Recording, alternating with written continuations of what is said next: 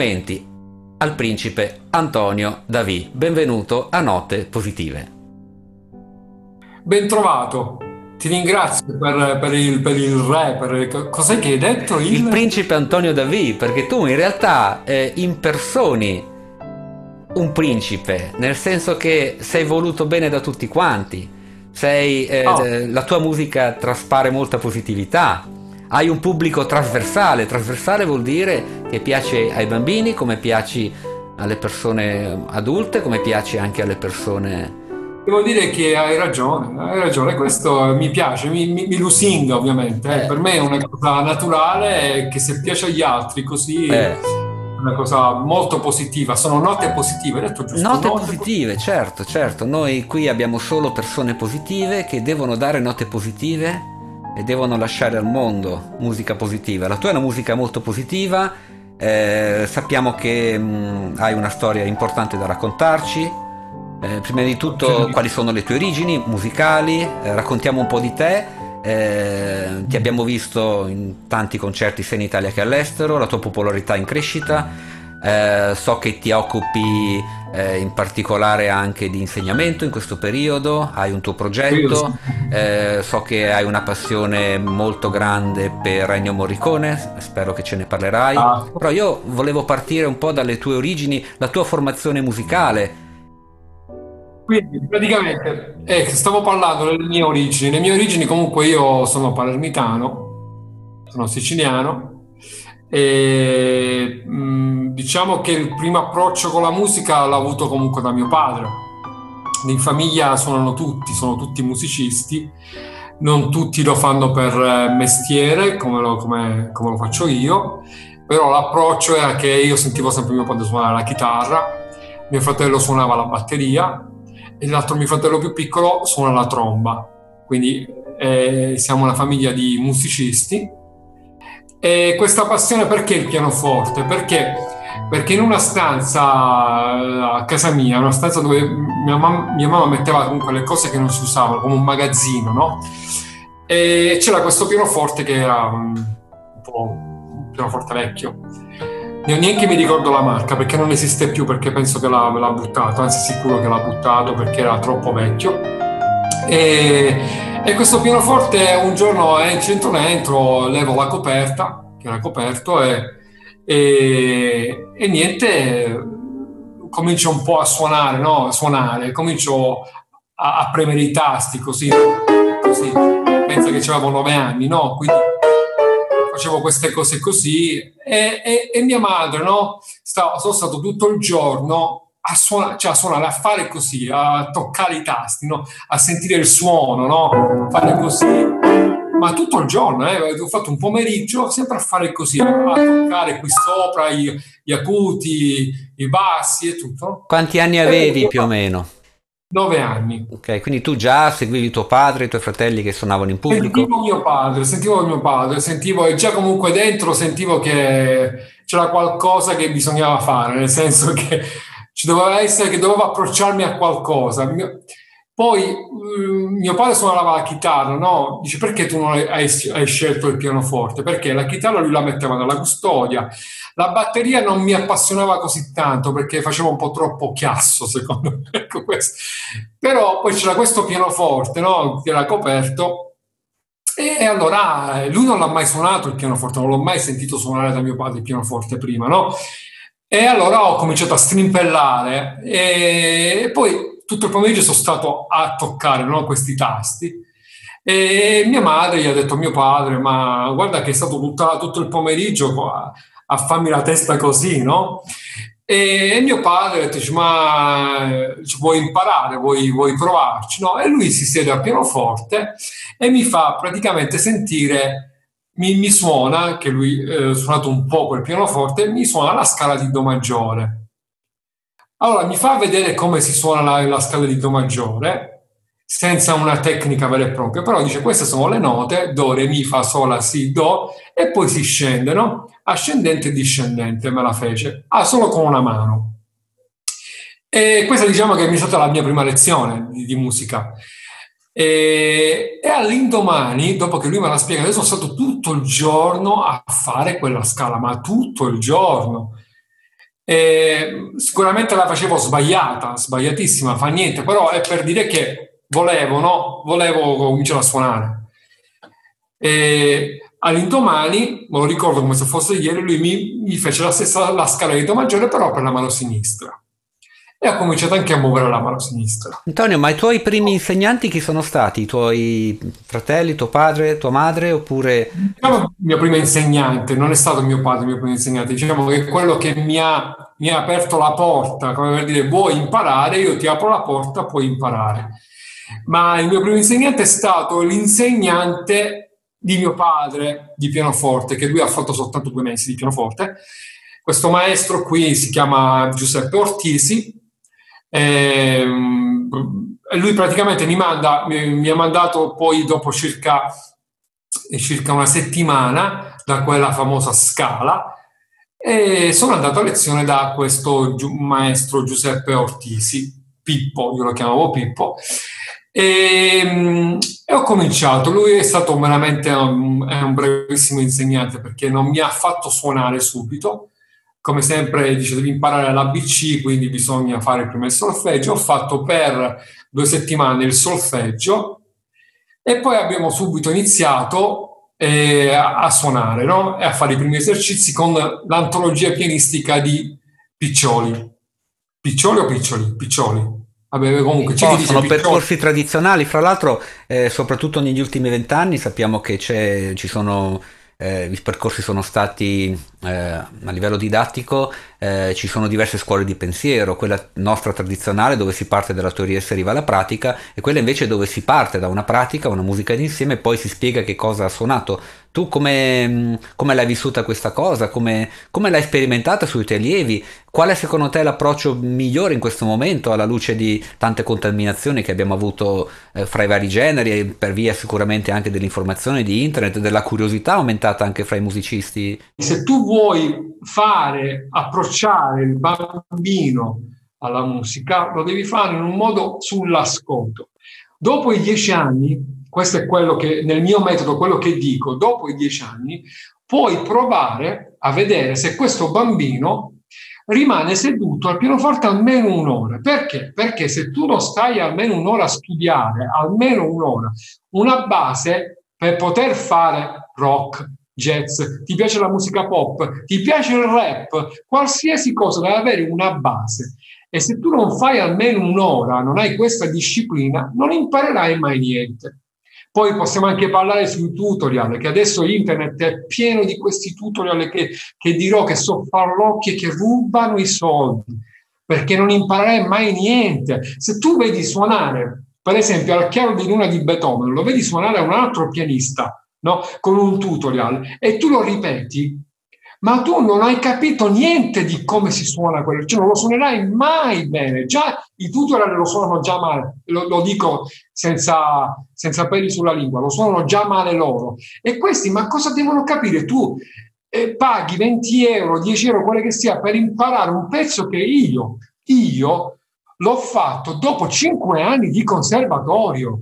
Ci siamo, ma se, se, il mio maestro mi ha detto che devo fare quel pezzo, me l'ha fatto cominciare a studiare dopo cinque anni di conservatorio, ci sarà un motivo. Ci significa che tu non sei pronto, devi avere una base, devi avere una base tecnica, una disciplina, un'ora al giorno per farti le basi. Poi voglio suonare questo, il maestro ti deve dire per arrivare a questo punto tu devi fare un percorso, non bastano più un'ora al giorno allora devi fare due ore al giorno, tre ore al giorno, devi fare questi libri, devi fare questa disciplina. È questo che io ho cominciato a insegnare principalmente perché vedo che non rispettano la disciplina del pianoforte, non rispettano più la didattica.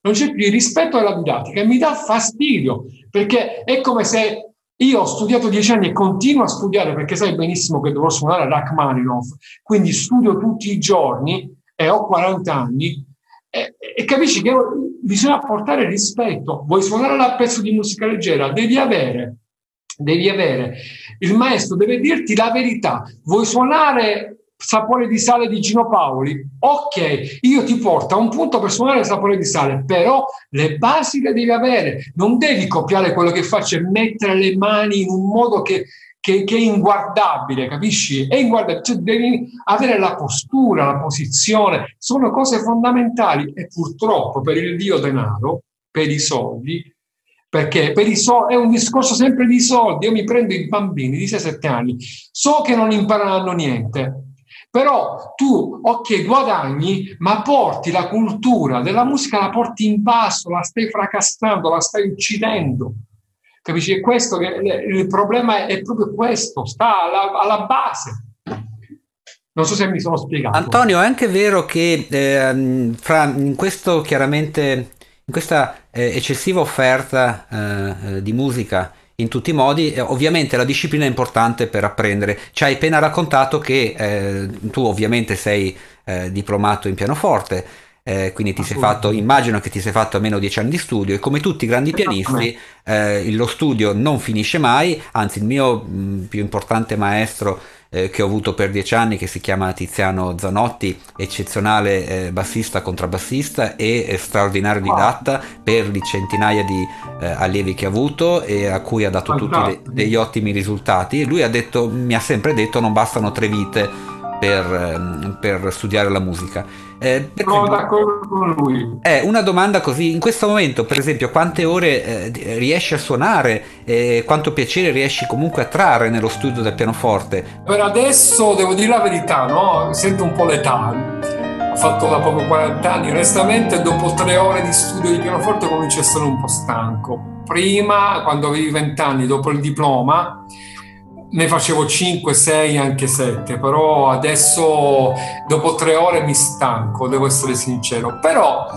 cioè, sono una persona che ha sempre studiato, no? quindi anche tre ore fatte in un certo modo comunque puoi raggiungere un obiettivo e l'obiettivo l'ho raggiunto così. Ovviamente adesso che faccio solo esecuzioni, però all'inizio che ho letto il concerto di Rachmaninoff, quello che suonerò, e, mh, l'ho studiato sette ore, sette ore al giorno. Cioè la, la prassi che ho fatto è una pagina al giorno per sette ore. E così l'ho imparata a memoria e adesso è soltanto da mantenere e fare esecuzioni per migliorarlo, perché si migliora sempre, non si arriva mai a un punto perfetto, che è anche giusto, no? Perché siamo umani, non siamo delle macchine, quindi la, la perfezione non esiste, è anche bello che non esiste la perfezione il numero uno in Italia per il genere che fai. Sappiamo che hai delle solide, ba- solide basi tecniche, una creatività eh, incredibile, eh, tecnicamente buchi lo schermo, nel senso qualsiasi cosa che tu suoni colpisce l'ascoltatore perché lo fai assolutamente in maniera eh, molto vivace e ben diversa dallo stereotipo del pianista classico che noi conosciamo. Sappiamo che sei andato molto oltre eh, di quello che accade in Italia per quanto riguarda i pianisti, nel senso che sei un grande improvvisatore, giustamente non, non conosci, conosci, molto bene sia il repertorio classico, ma le tue orecchie e le tue mani hanno cercato anche altri generi, sei comunque un, un ottimo, anche un ottimo jazzista, un ottimo improvvisatore, sei una persona che rielabora le cose scritte da altri, come in realtà lo erano tutti i grandi compositori storici. Nei miei concerti, forse questa è la cosa particolare, no? È quello di, di suonare abbastanza distinto, cioè sull'emozione che tu stai provando in quel momento. Perché? Perché mi dà, non mi dà fastidio, però mi sento un po' incatenato quando ho un programma da seguire questa cosa qui del programma mi è sempre stata stretta, come anche mi è stato stretto eh, suonare una partitura. C'è l'inizio e c'è la fine. Ecco, questa cosa adesso io lo sto facendo con Rachmaninoff, lo faccio per una mia, una mia cosa personale che poi spiegherò perché sto suonando questo concerto. Però è soltanto la prima parte, perché la seconda parte ci sarà l'Antonio Davidi sempre, cioè suonare un repertorio, che dico sempre cosa suono prima di suonare, dove faccio sempre delle elaborazioni e la suono sempre in quel momento come mi sento in quel momento. E questa è la cosa bella. Faccio un esempio, mh, mm, eh, che so, Over the Rainbow, no? Metto, ti metto la telecamera.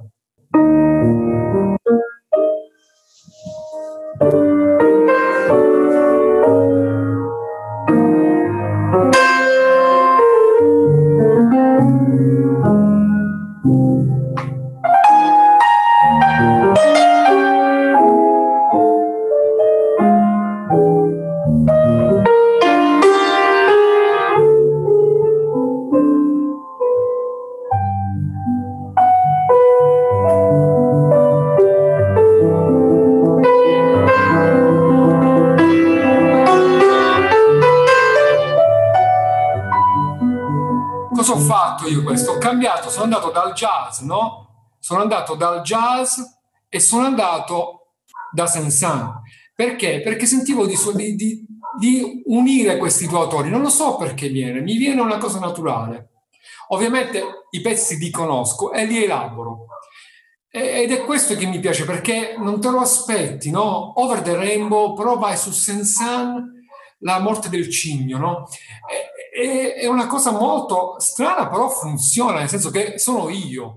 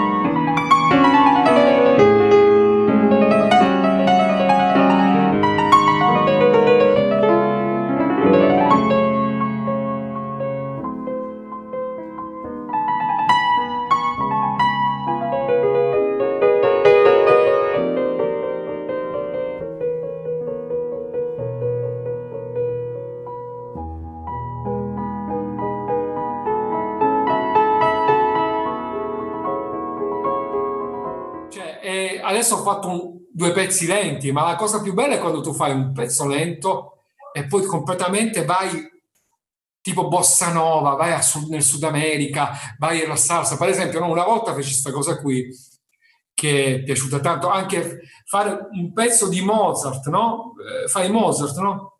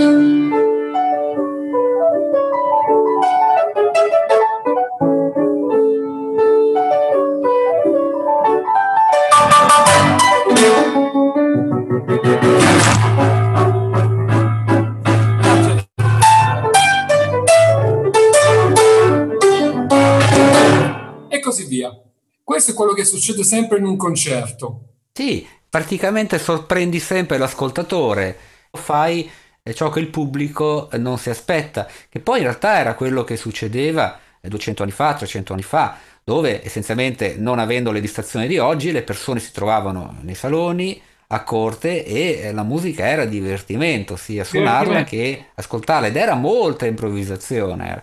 Oggi poi eh, siamo convinti che eh, la musica, almeno un certo, eh, come si dice, un certo mondo accademico eh, rimane um, forse un pochettino non al passo con i tempi, nel senso troppo rigido, quando invece i nuovi insegnanti che sono cresciuti non solo con la classica ma con altre contaminazioni hanno un approccio eh, sia verso se stessi che verso ehm, i propri allievi, sicuramente meno rigido di quello che è stato in passato. E penso che sia una cosa positiva perché poi comunque la musica ha una sua evoluzione e il modo tuo di porla in, dove praticamente la, la tua grande eh, tecnica e comunicabilità eh, è assolutamente funzionale a eh, diffondere non solo la musica ma renderla un piacere per le persone e quindi fare in modo che queste persone eh, cerchino di imitarti, ognuno con le proprie aspirazioni.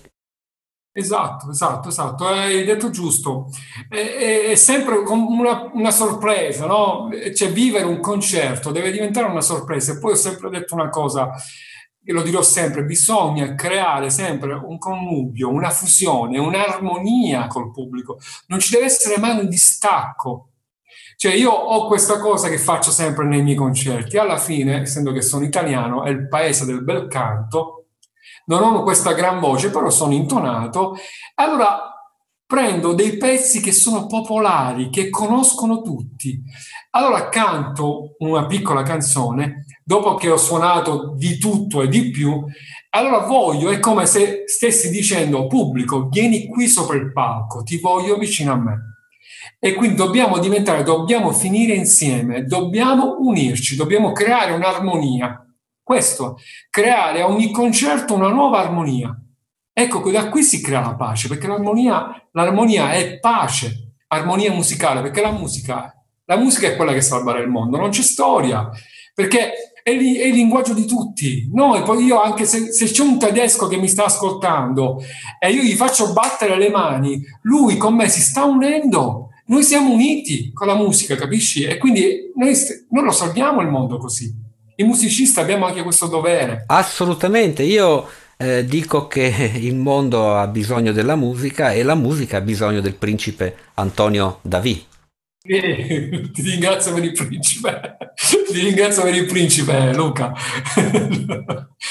No, ma principe no, nel senso che ti, ti, ringrazio, ma secondo me sono più che altro, forse una volta una persona mi disse sei un istrione, ecco, forse è più giusto la parola, un istrione forse è giusto, forse mi si addice, perché porto con me le persone, cerco di, di, di, di trascinarli dentro a quello che io sto pensando, a quello che, cioè al viaggio, perché comunque io percorro un viaggio, un viaggio nuovo, ogni concerto c'è un viaggio nuovo. Lo percorro. Una volta feci un, un programma dove ho scritto viaggio attorno alla musica e ho messo le banderine di ogni paese. Ecco, ho messo la bandiera della Francia, la bandiera della Spagna, la bandiera dell'Argentina, la bandiera dell'America, la bandiera eh, Giappone no, purtroppo per te, scusami, so che tu sei un amante della musica giapponese, però è in programma fare qualcosa di Isaishi, no?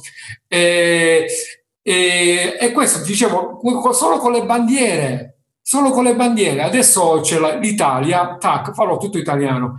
E sempre con un ordine, un ordine che decido io, cioè sono con, con, il sentimento che sto provando in quel momento, con l'istinto, no?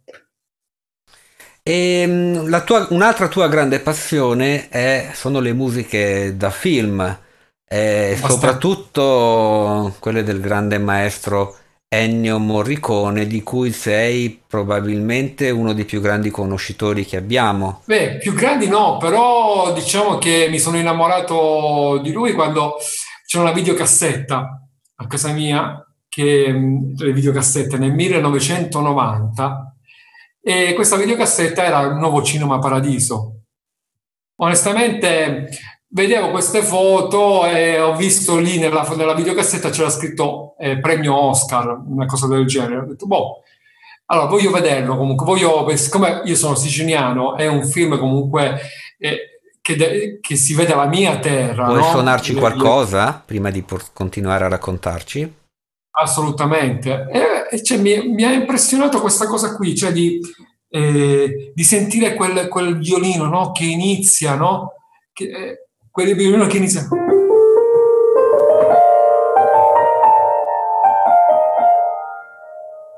Sempre da solo. Cioè si è aperta l'immagine così. Cioè già quando inizia un film così ti stai dicendo qua c'è qualcosa di magico e poi è entrato questo e, e ti viene la pelle d'oca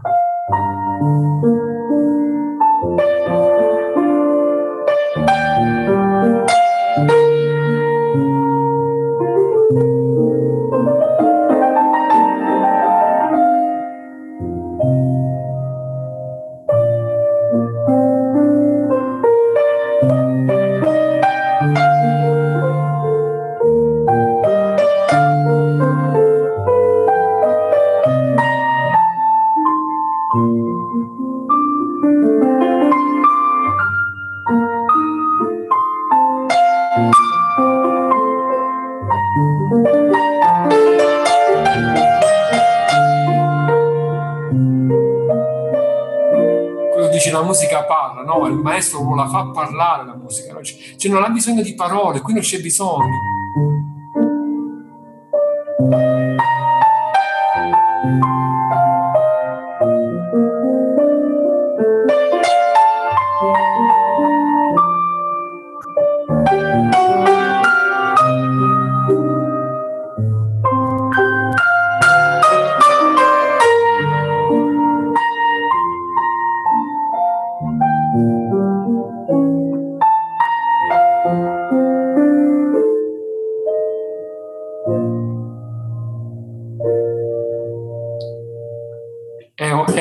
Questa, eh? cioè, non, non, non, io che suono, però è arte proprio quello che ha scritto questo, questo compositore, no?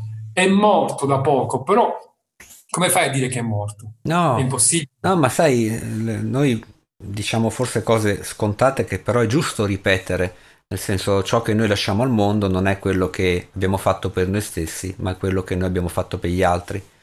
Veramente a questi livelli Ennio Morricone è una persona che fino ai 40 anni ha avuto una vita eh, molto diversa da quella che poi ha, era, assolutamente non era conosciuto, era un insegnante penso di scuola media e cercava anche lui insomma di arrancare, poi ha avuto la sua grande occasione ed è diventato eh, uno dei compositori più straordinari al mondo. Eh, due, due, messaggi importanti, insomma, che eh, persona, innanzitutto per realizzare i propri sogni non è una questione di età, un'altra cosa importante è che la musica si, eh, dobbiamo uh, spiegarla bene, penso che tu sei molto più adatto sicuramente di tanti altri, ovviamente anche di me, spiegare bene che eh, imparare a suonare uno strumento non è una questione di età, lo, so, lo si può fare in qualsiasi cominciare a fare in qualsiasi momento della propria vita. Ovvio che se uno lo comincia a studiare a 10 anni avrà eh, sicuramente eh, 20 anni avanti di studio di chi comincia a suonarlo a 30 o comincia a suonarlo a 50 e avrà più possibilità di fare, che ne so, una carriera da concertista. Ma ciò non vuol dire che eh, se io voglio cominciare a suonare a 40-50 anni eh, uno strumento qualsiasi sia a qualsiasi livello, le mie soddisfazioni me le posso assolutamente eh, prendere in breve tempo, anche perché la musica, la cosa eh, grande della musica per chi la fa è l'opportunità di incontrare persone sconosciute e nel giro di pochi minuti mettersi in relazione con loro con, il, con la scusa, con il pretesto tramite un brano suonato in comune cosa che non avviene in nessun altro campo, nel senso se io esco con una persona, mi siedo intorno al tavolo, oppure sto in un salotto, devo parlare, andare in comunicazione, la musica ci basta, eh, basta mettersi d'accordo, stasera suoniamo eh, questi brani qua, eh. che siano anche un brano pop, un brano jazz, un qualcosa di classico, un, musica da camera e già lì crea comunque un forte eh, connubio fra le persone perché tramite la musica c'è anche, eh, anche una capacità di esprimersi a livello eh, eh sentimentale e affettivo verso l'altra persona, stando attento a come suona, rispettando le pause, rispettando ehm, le intensità o rispettando i momenti di, di rilassamento, rispettando anche lo stato emotivo di quella persona. E al pari della musica non c'è niente di più potente per poter avere un dialogo eh, non verbale con una persona sconosciuta.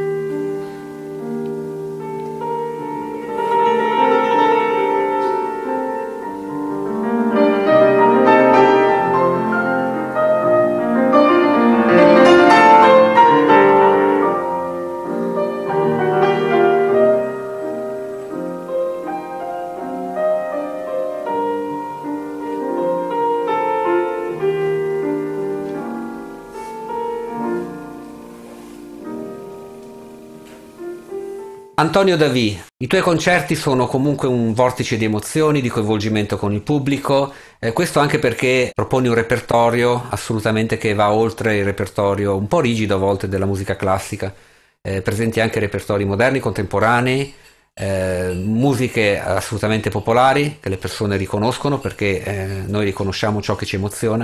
In particolare, il tuo modo, nella tua musica ci sono moltissime eh, brani tratte dalle colonne sonore dei film, in particolare dalle opere di Ennio Morricone. Quando ti colpiscono, ti toccano quelle note, ti toccano il cuore, no? ti toccano l'anima, eh, cioè non c'è bisogno di essere musicisti alla fine comunque siamo delle persone normali, cioè usiamo gli strumenti per dare, per dare, arte, per dare musica, perché arte comunque io non dico mai che sono un artista, bisogna sempre farlo dire agli altri questa cosa, non è eh, modestia, ma è, è la verità, noi non siamo artisti, cioè noi cerchiamo di portare un livello emotivo, un'emozione con lo, con lo, con lo strumento, ma sono gli altri, sono, sono, i profani a dire se tu sei un artista. Questa è anche una cosa molto fondamentale che devo dire la verità che a noi musicisti non ci entra in testa perché specialmente i jazzisti, specialmente i jazzisti, perché hanno questa cosa, i jazzisti dentro, come se loro sono dei, no?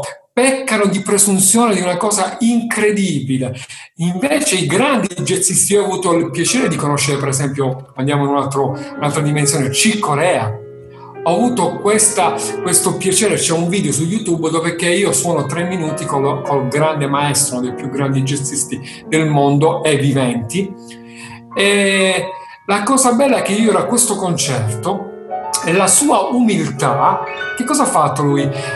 Ha detto c'è qualche, qualcuno che vuole improvvisare con me.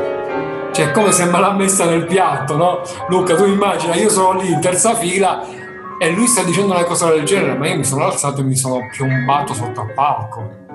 Mi sono, e lì ho aspettato, dice aspetta un attimo, poi mi fa salire sul palco e lì, boh, basta guardare il video. Sono si cose che cambiano la vita, eh. Vero, mi ha cambiato la vita perché, perché cioè, mi sono sentito a pari, no? Che comunque è anche una bestemmia di essere al pari di Cicoria, però l'umiltà e l'energia di quell'uomo, un'energia che è veramente unica, perché di tecnica ci possiamo arrivare tutti, ma è l'energia, cioè proprio mi ha messo in un modo nel suonare come se mi stesse dirigendo con la mente, cioè sono persone fuori dal, dal comune. Ecco, questi sono artisti, questi sono artisti non quello che ti deve fare vedere che sono bravo, no, è quello che ti comunica l'artista. E lui non lo dice mai che è un artista. Cioè, Ciccolea non ha mai detto sono un artista e l'umiltà è questa, io do la possibilità a uno sconosciuto di suonare con me. Cosa c'è di più bello? Per esempio, no, metto un altro grandissimo jazzista, Keith Jarrett.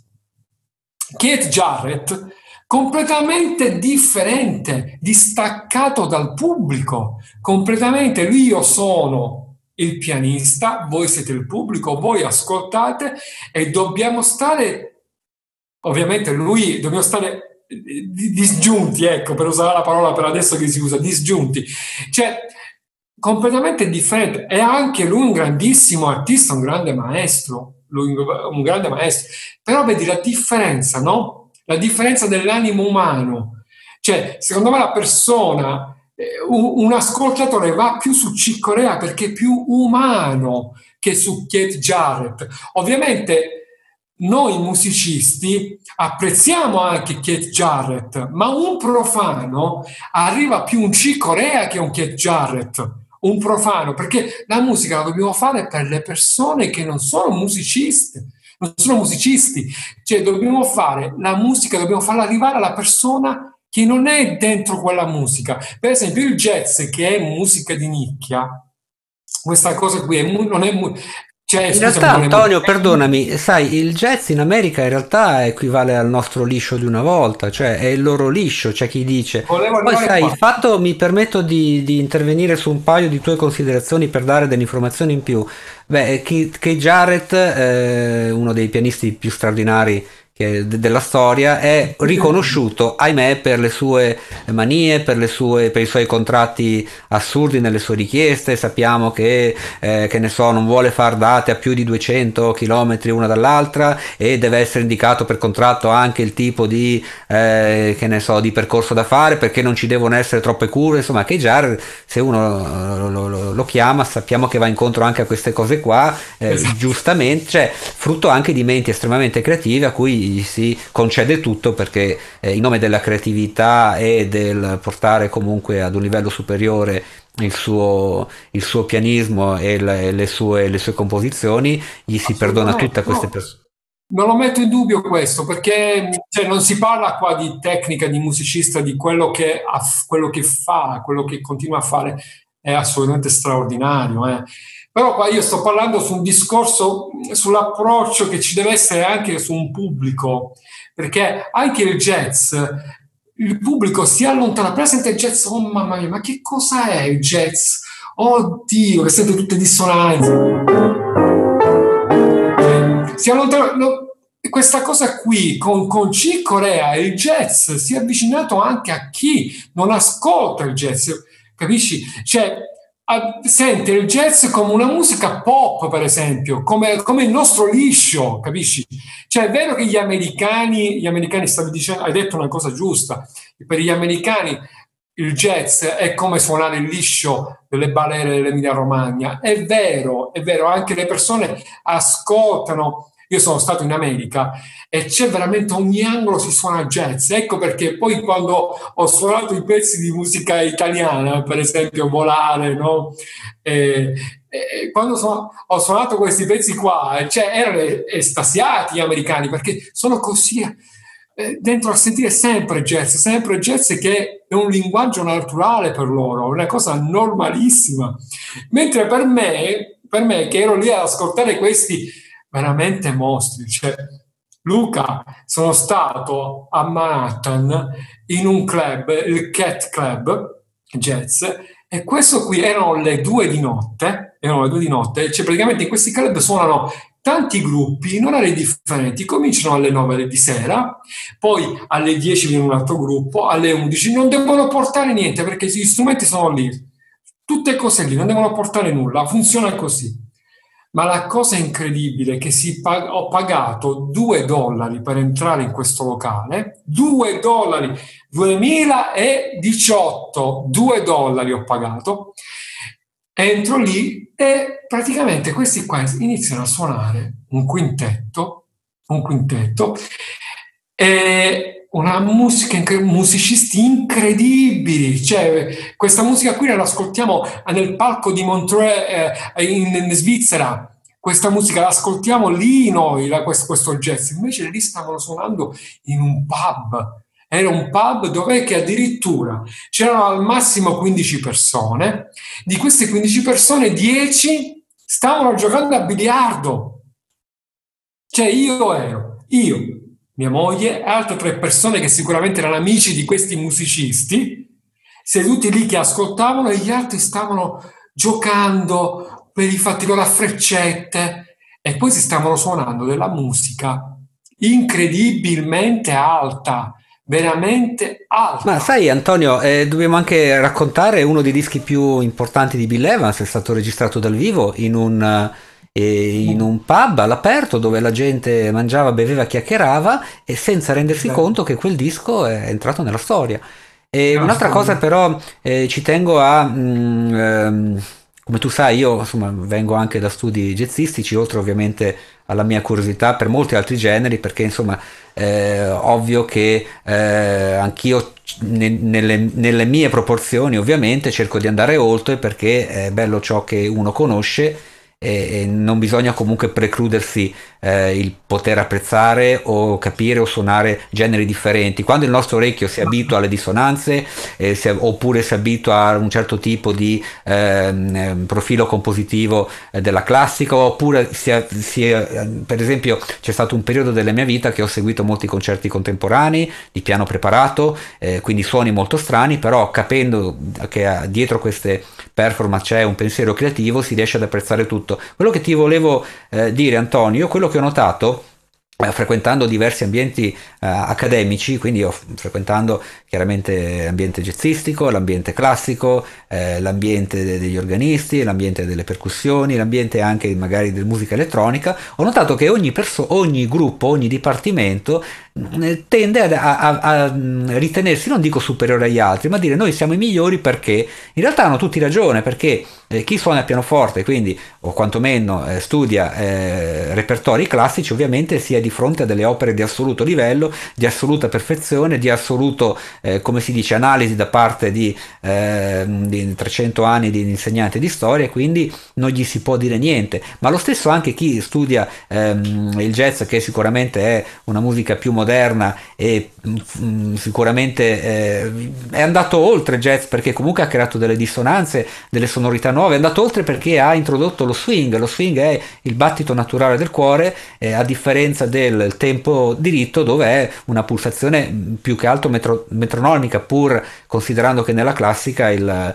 ehm, come si dice, il, ehm, eh, la, la, la, eh, la classica gioca molto anche sull'accelerazione, sul rallentamento e quindi non ha una, una, rigidità che ha invece per esempio la musica pop. Ma la cosa che mi ha incuriosito, anche gli organisti straordinari, perché sono persone che fanno dei repertori in luoghi, in luoghi sacri dove ogni nota veramente penetra il cervello, il corpo e, e, e, l'animo in una maniera straordinaria, anche loro eh, si credono in un certo senso portatori del verbo unico eh, quello invece che è più interessante notare è che queste cose sono sempre, questi generi vengono sempre più ehm, eh, apprezzati e eh, ricercati e mischiati dalle nuove generazioni che eh, giustamente non si fermano a un solo verbo, perché la nuova generazione magari ti sa suonare benissimo eh, le grandi sinfonie o fa magari concerti con grandi, con grandi mh, eh, con grandi orchestre, ma allo stesso tempo ti ascolta eh, un disco di qualche eh, un disco pop di successo con la stessa facilità.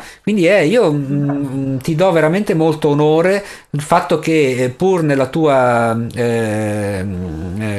in realtà sei molto giovane adesso e nonostante tutto hai già esplorato tantissimi Grazie. generi tantissimi eh, modi di comunicare la musica che ricordiamo, rilacciandomi al dis- tuo discorso di pochi minuti fa, che la musica deve portare positività e da lì anche il nome di questo nostro incontro che si deve chiamare Note Positive e tu le impersoni assolutamente al meglio. Grazie, grazie. Sì, ma è sempre stato il mio motto, no? Le note positive, cioè far stare bene gli altri.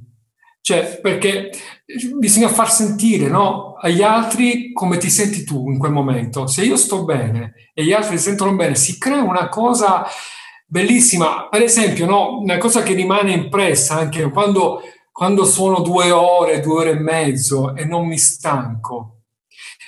C'è una motivazione, c'è una motivazione comunque, ok, uso della tecnica, però suonare in quel modo, no? qualcuno avrà visto qualche concerto mio, suonare sempre con, quella, eh, con quel power, con quella eh, grinta no? per, per due ore, vuol dire che io sento delle persone, c'è il calore, il calore mi crea, mi dà energia. È una cosa un po' difficile da spiegare, però è quello che succede. Cioè io sento, sento che quello che sto facendo è apprezzato, no? E mi carico, è come se fosse una ricarica.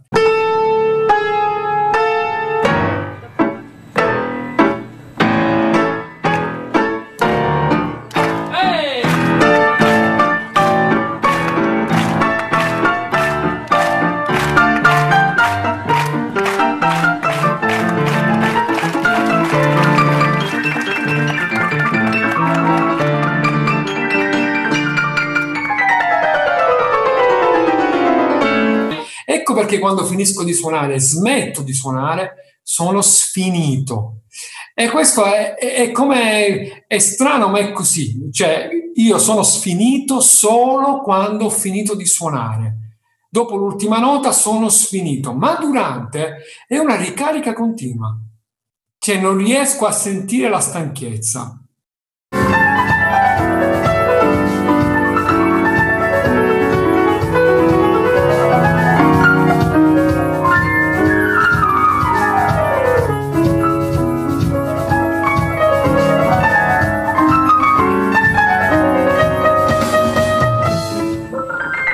Cosa che è un po' inspiegabile, però è così, è la verità.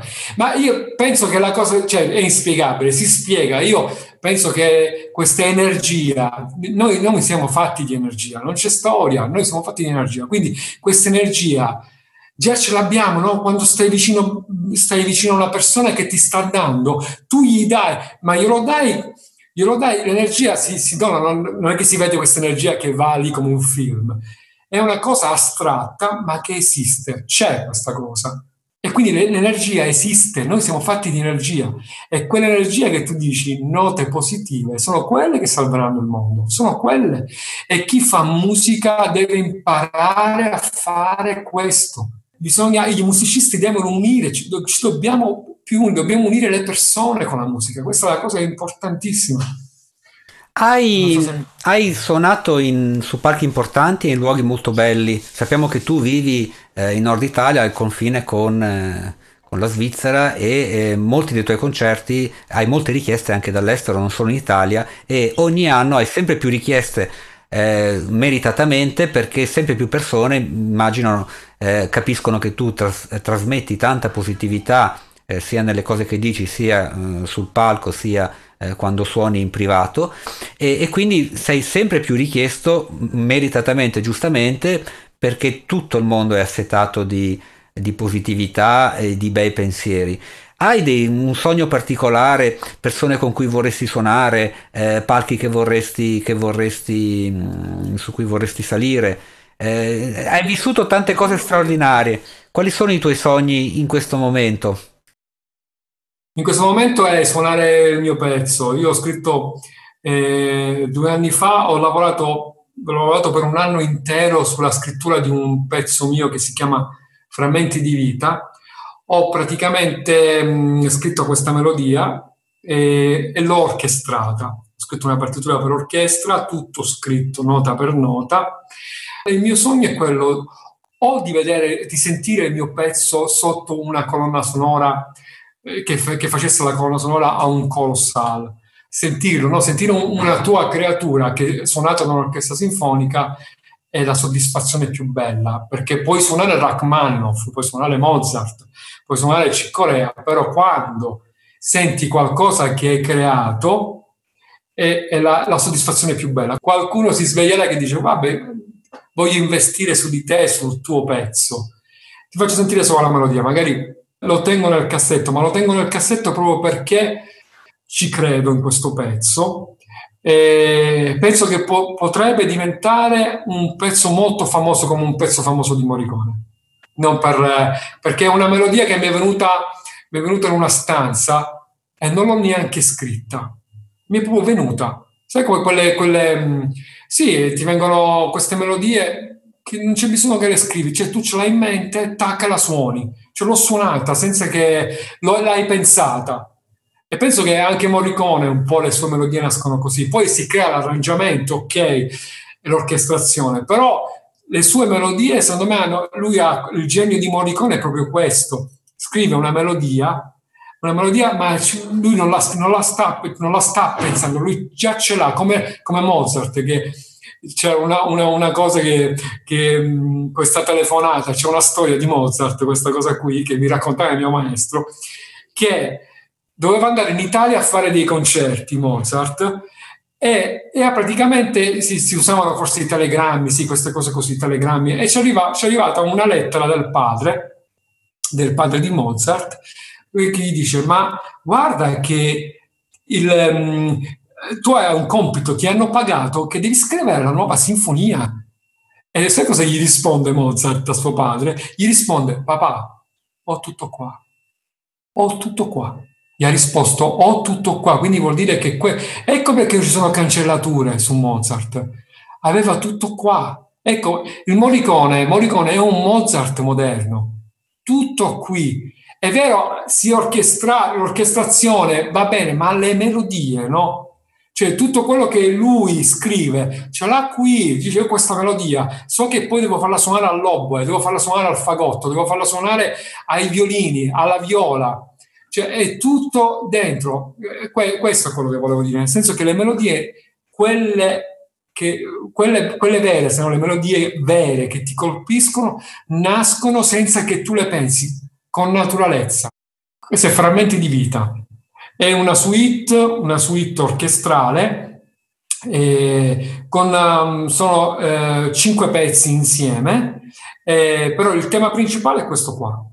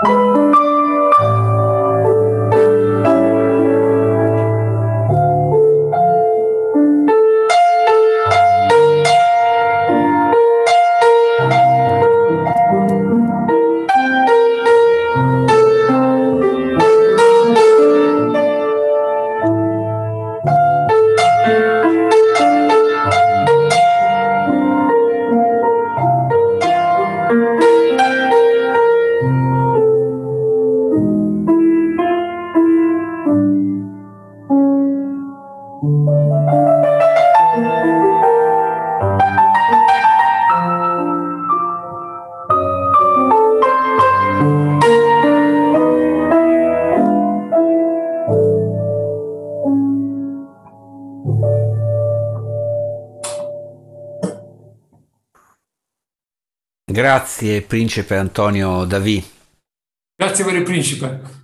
Sempre note positive. Se ci vuoi dire qualcosa sul tuo progetto di Pianisti in Erba, ah, sì, su Pianisti in Erba eh, so che sei molto seguito, sta avendo molto Bene. successo ed è una cosa un po' particolare perché eh, tu eh, non ti rivolgi a persone eh, già avanti, a persone con solide preparazioni o studi, ma tu hai deciso di rivolgerti a chi vuole approcciarsi al pianoforte indipendentemente dall'età e questo in realtà non lo fa nessuno. Per questo sei molto ben voluto e sempre più seguito. È vero, è vero, questa è una, anche una bella sfida. Sono molto orgoglioso eh, di, di, dei pianisti in erba perché mi seguono, mi, sono molto attenti e, e mi piace questa cosa qui che hanno un approccio veramente disciplinato col pianoforte, perché questo, eh, ho sempre detto, se tu ti fai le basi, poi all'inizio è un pochettino noioso, però ho, ho fatto una cosa carina, no? i miei esercizi, il mio metodo da V, ho inserito questi accompagnamenti orchestrali, quindi anche gli esercizi che sono un po' noiosi, diventa più carino che senti il violino, senti la batteria, senti il basso, no, diventa più carino anche studiare. E, e sta andando bene, sta andando bene. Sono, gente di tutta l'età, tutte le età, ehm, dai, dai 30 fino ai, ai 60, 70. E sono molto, molto fiducioso che andrà bene perché se, se va come dico io, eh, vuol dire che allora sul web, visto che il web è contaminato da tutorial inutili, ehm, sul web penso che allora qualcuno può anche studiare musica, lo può fare anche in lontananza così. Perché io queste persone non le conosco. Io personalmente queste persone non le conosco. Come te non ci siamo mai incontrati, tu mi hai conosciuto, tramite un gruppo, forse questo, non so, non, non mi ricordo. E, e quindi eh, è una cosa, è una, una sfida anche questa qui, perché vi dimostro che anche se non ci conosciamo, non c'è il contatto con il maestro, che comunque è fondamentale, è fondamentale.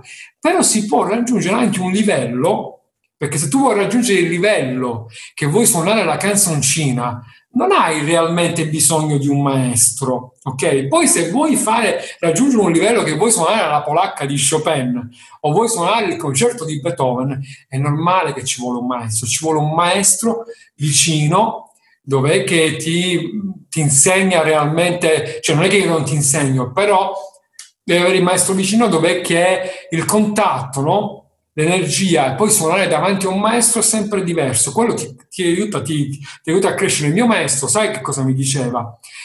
Per suonare da 8 all'esame fuori, devi suonare da 10 in classe. E suonare da 10 in classe, guarda che è una cosa difficilissima, perché suonare da 10 davanti al tuo maestro non è completamente facile, è difficilissimo. Però se ci arrivi suonerai da 8 fuori perché sei più...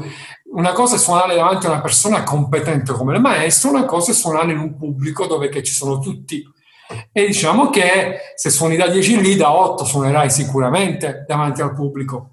Principe Antonio Davì, come vedi il, fu- eh, beh, il futuro eh, della musica e del pianoforte? Eh, alla luce mh, qualche anno fa, quando è esploso Lang Lang, più importante sì. pianista cinese, sì. Eh, sappiamo che la produzione di pianoforti è veramente diventata altissima in Cina, quindi sia per il mercato interno che per il mercato esterno. Si parla di milioni di esemplari in più prodotti ogni anno trascinati dalla popolarità di Lang Lang. Bello. Sappiamo anche che nel mondo eh, la vendita di, stru- di, pianoforti elettronici, di piani digitali, anche quella è no, no. incrementata ogni anno. Quindi intanto ti volevo chiedere per curiosità, insomma so che a volte ehm, ti devi per forza di cose ehm, esibire anche con pianoforte digitale, il tuo rapporto con, con, il piano digitale, se vedi che sia un buon futuro, se lo vedi eh, che migliorerà, se... dacci le tue impressioni da pianista diplomato. E poi importante Antonio, vorrei capire da te appunto il futuro della musica in senso generale, visto eh, tanti cambiamenti enormi che il mondo insomma sta vivendo e, e, il futuro anche del pianoforte come strumento. Allora, guarda, ti rispondo facilmente, una domanda abbastanza semplice, ti rispondo con i fatti. Questo pianoforte che ho suonato poco fa, io me lo porto in giro a suonare, dove non trovo il pianoforte nelle sale da concerto non c'è il pianoforte, mi porto il mio pianoforte. Perché ho fatto questa spesa? Perché ho comprato una macchina che me lo trasporta, perché mica posso alzare 400 kg. Una macchina, ho comprato questa macchina, ho fatto un investimento perché il pianoforte digitale va benissimo per studiare a casa ma quando si suona live, per esempio nel mio caso, io parlo del mio caso perché la maggior parte delle volte io suono sì, da solo, allora da solo non puoi suonare un, fare un concerto con un pianoforte digitale perché un pianista, cioè questi pianoforti digitali hanno delle sonorità che non sono come il pianoforte, non ci arrivano. Con tutta la bellezza, con tutta la tecnologia, non possono mai imitare un pianoforte vero, un pianoforte vero con la meccanica, che poi la meccanica è stata creata dalla, dalla, da Bartolomeo Cristofori, che è il nostro amico italiano di Padova, che grazie a lui si è aperto un mondo, grazie a questo meccanismo. E stavo dicendo che io, prima di camminare, andare in giro col pianoforte a coda, andavo in giro col pianoforte verticale quindi ho comprato una macchina, ho comprato un pianoforte verticale di un'altezza che entrasse dentro la macchina. Cioè, pensa, no? Ci sono video, poi magari eh, qualcosa la posto, te la faccio vedere. Ci sono dei, questi concerti dove che suono col piano verticale. Perché non, non, avevo, non trovo soddisfazione in quello eh, digitale, non c'è soddisfazione per un pianista, per un pianista. Se tu quello digitale lo metti con un gruppo, la cosa cambia, perché lì devi fare musica d'insieme. Quindi musica d'insieme, comunque, pure se il pianoforte, il suono del pianoforte non è completamente uguale, ma devi stare al passo con gli altri strumenti, ok? Se invece suoni da solo, il pianoforte si deve trasformare in un'orchestra allora, se hai un pianoforte digitale che i suoni dell'orchestra dalle mani non escono, è una catastrofe suonare.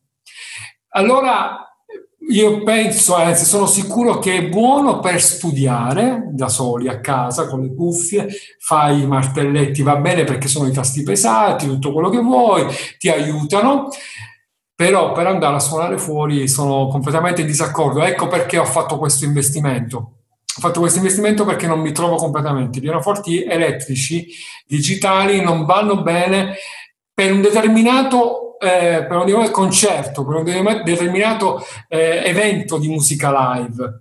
Però se suonato con altri strumenti va benissimo, cioè va più che bene. Per esempio c'è il Rhodes, è nato così, il suono del Rhodes, e va benissimo, è quello. C'è Cic Corea che ha fatto anche un disco dove che suona il Rhodes e va benissimo è bellissimo il suono, tutto quello che ma nasce così. Ci siamo. Invece i pianoforti digitali vogliono imitare il suono del pianoforte. In alcune cose si può fare, in altre cose, per esempio, tu immagina di suonare Rachmaninoff in un pianoforte digitale, è una vergogna.